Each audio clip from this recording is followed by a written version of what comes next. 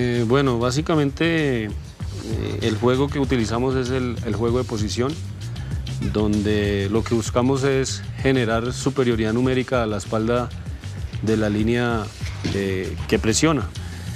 básicamente este juego se inicia desde atrás con una salida con balón al piso, con mucha amplitud de extremos, de laterales,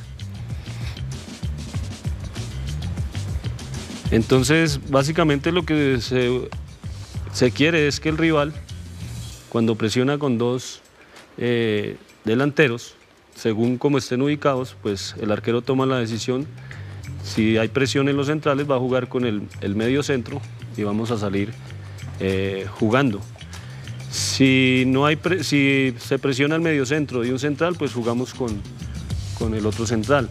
En este caso, cuando hablamos de Malagón, por su característica, eh, cuando juega por el lado derecho, por su perfil, eh, Malagón tiene la característica de conducir, de atraer rivales y de poder eh, filtrar ese balón que nos va a permitir generar una superioridad numérica a la espalda de la línea que presiona. En este caso serían los volantes y dejar nuestros delanteros y volantes más la llegada de un lateral en superioridad numérica para poder atacar. Esa es la, característica de, Malagón por su visión de juego, por, por su buen manejo de balón.